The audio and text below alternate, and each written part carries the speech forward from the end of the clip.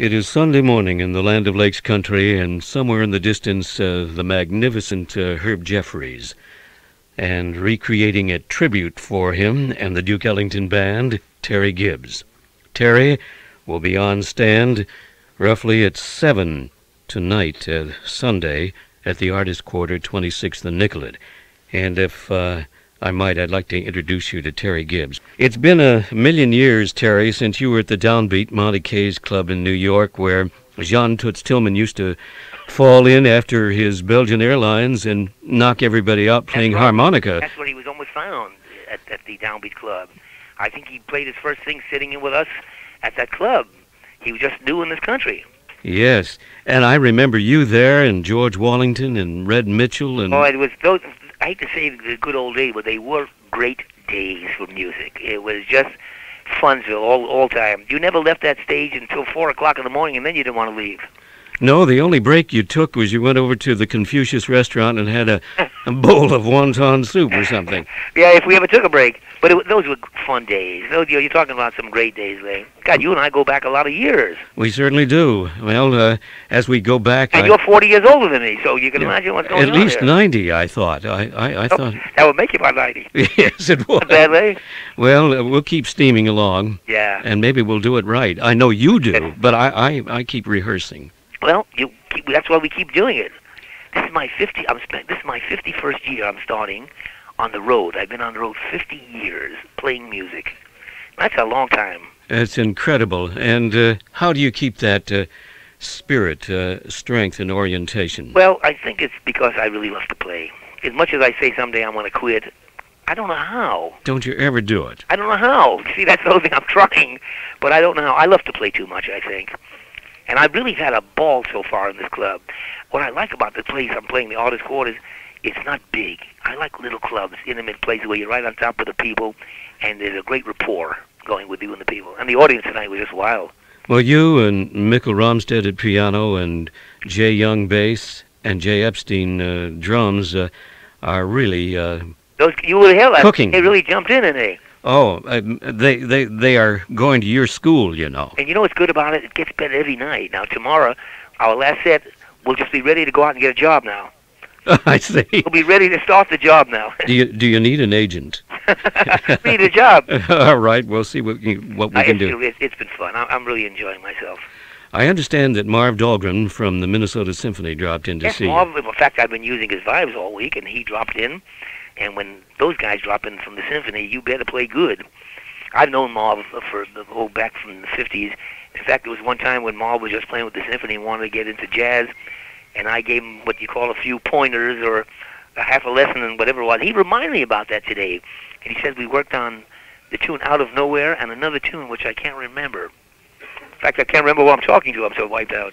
Well, um, my name is Leigh Kamman, and you're Terry Gibbs, Oh, aren't you? Are Uh, we on the air, Lay? Wait a minute. Oh, listen, uh, um, uh, Doctor. Um, Yes, who? Dr. Strangelove. yes. Uh, good night. Stay there. Don't go away. No.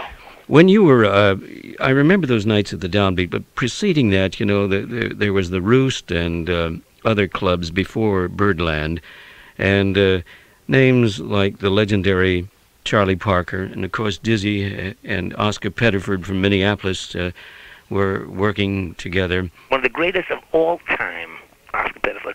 Oscar and I worked together on the Woody Herman Band, too. Yes, you were in that uh, number two, the Thundering Herd. Uh, I...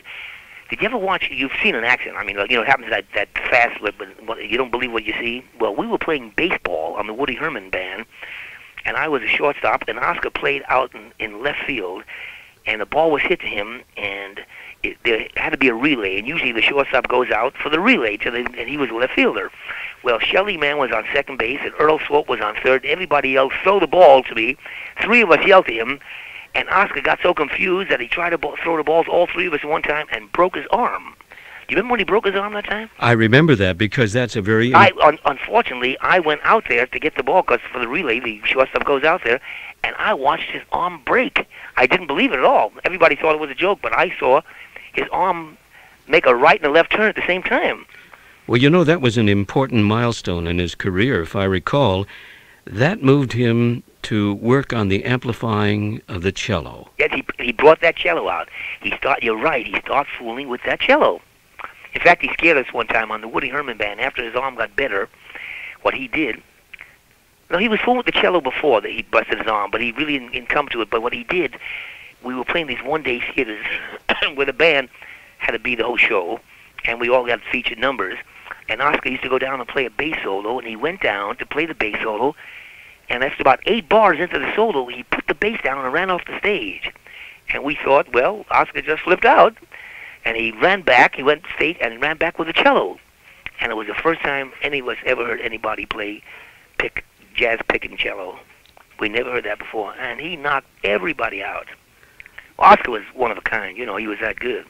Well, you, as you know, his family, home based in this area, Right. had a complete family organization, a musical organization.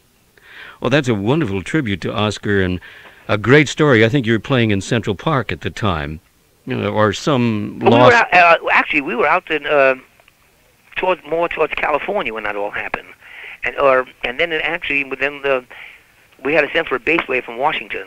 It was somewhere out in California because that's where we used to play baseball all the time. We used to play Harry James band and Les Brown's band.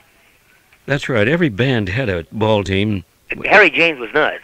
To play in Harry James band, start with, you couldn't play in the band unless you were a good baseball player.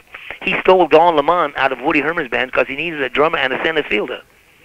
So he took him right out of the band. He them that's double. That's double indemnity. and I'll tell you what else.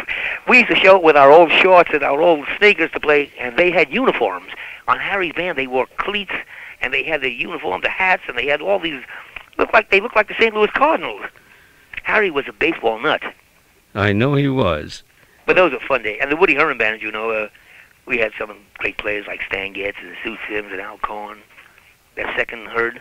Yes, it, and those compositions, uh, the music itself was so rich. Well, early on it was a classic. Uh, uh, I am very fortunate to have a eight-bar vibe solo on that, along with Stan Getz's big solo. Now, there was some good, good things happening. Wonderful memories, Terry, and it's Oh yeah, oh great reminiscing with you. And I, I'll I'll meet you at the Artist Quarter tonight, and Lee, you Sunday. got to look for my new album that's coming out. yes, that out uh, this week. It's called Terry Gibbs Dream Band Volume Two: The Sundown Sessions. I'll make sure you get a copy. It's that big band, that Dream Band that I had in 1959, that unreleased tapes that are so good. Well, we're so happy about them. I know I saw them in the record browsers today, and uh, I'm going to put my hands on a copy as soon as possible. Great. Good talking with you. Hey, me, Elaine. Yeah, you take care. And I'm going to call you from California. All right, good. I'll look forward to hearing from you. Wonderful.